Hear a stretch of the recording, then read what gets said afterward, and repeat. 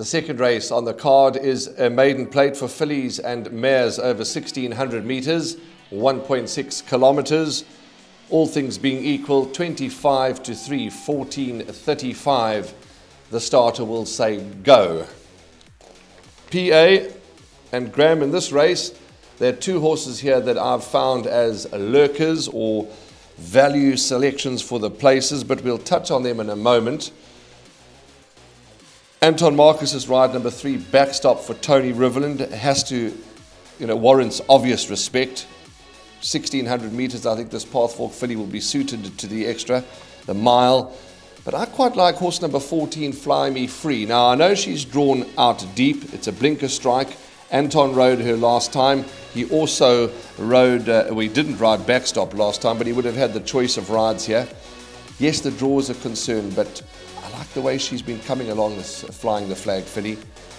I think she's the one they have to beat.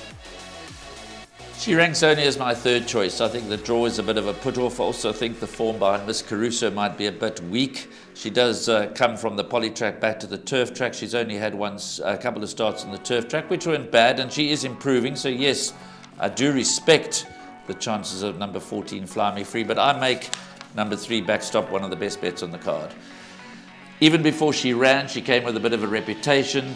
Uh, there was market support first time out when she ran a bit green and was only three lengths off Viso's Magic. She showed further improvement over 1400 meters, and uh, I agree with your opening comments that the extra 200 meters will be right up her alley. She's got a neat draw.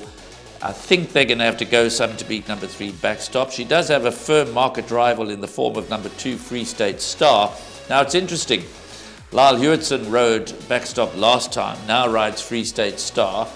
As you say, Anton Marcus uh, rode Fly Me Free last time, now rides Backstop. So they're playing, playing a bit of musical chairs. But I, I believe number three, Backstop, is probably one of the better bets in the card. But I do have respect for both two Free State Star and 14, uh, your fancy Fly Me Free. Yes, backstop, certainly. My numbers are 14 uh, Fly Me Free from 3 backstop, and then my two uh, lurkers, which I'm going to touch on in a moment, they are 8 Siberian Sunset and 13 Laurel Lane, and we'll get back to those in a moment. Yeah, two runs for backstop, certainly bright chance. I'm not saying that she can't win. She's got a huge winning chance. She's my second choice. I've just gone for a little bit of, of value, if that's the right word to use. Blinker strike for Fly Me Free. Yes, the draw is a concern, but by no means a good thing. Graham, Free State Star, disappointed last time. I thought uh, she would do a lot better than her fifth behind Ideal Jet. Ideal Jet runs later on this afternoon. This, of course, is a recorded show, and I know that the yard do quite rate Ideal Jet. So let's see how that form line will would have worked or not worked by the time you get to watch this production. My two lurkers, eight Siberian Sunset and 13 Laurel Lane. I just feel they're never too far off the action. Siberian Sunset uh, relocated to the uh, Nathan Kotzen stable. I'm expecting some improvement there. Laurel Lane never runs a shocking race. Tapiso Gumede takes weight off. I'm certainly going to include these two fillies in the back end of my quartet. Do you think I'm mad?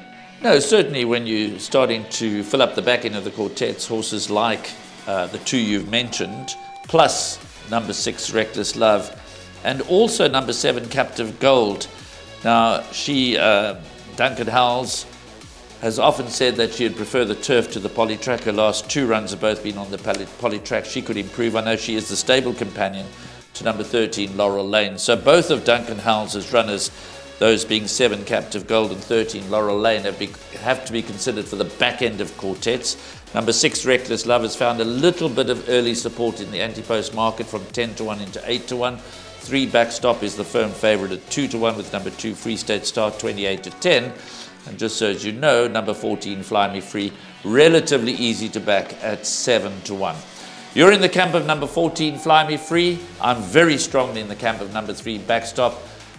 I think she's one of the better bets on the card.